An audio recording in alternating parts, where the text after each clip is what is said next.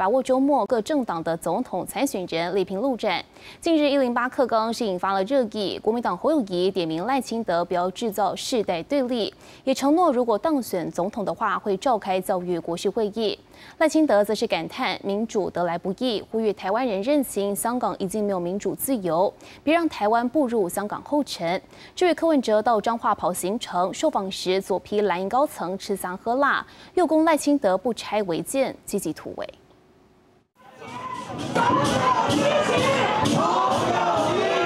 高呼口号，展现团结气势，把握周末造势，拉台立委选情。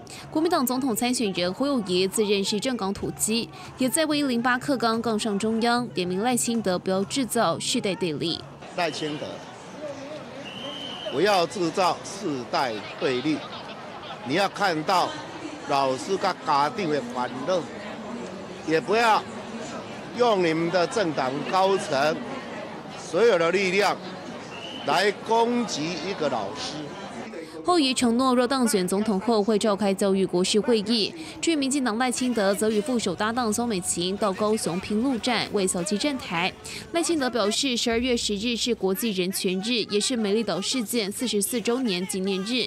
民主得来不易，呼吁台湾人认清香港已无民主与自由的事实，别让台湾步入香港后尘。香港的民主已经破坏了，自由嘛已经无存在。因此，经济嘛受到真大影响。咱一定要坚守咱的民主。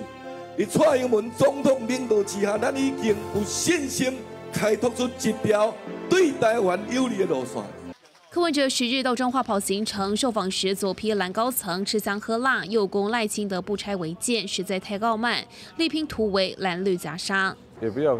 党政高层哦，吃香喝辣的啊，然后那些基层员工不照顾了，错的就改掉就好了嘛。就不想要戴清德在，我倒觉得很多事情发生的哈，好做错了，那就把它改掉就好了。你看苏家全在二零一二年，他平东的农舍也是乖乖拆掉啊，对不对？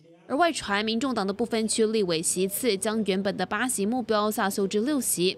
柯文哲驳斥没有所谓下修问题，只是要从期望值的基准线继续向上努力。记者黄曼谢振林综合报道。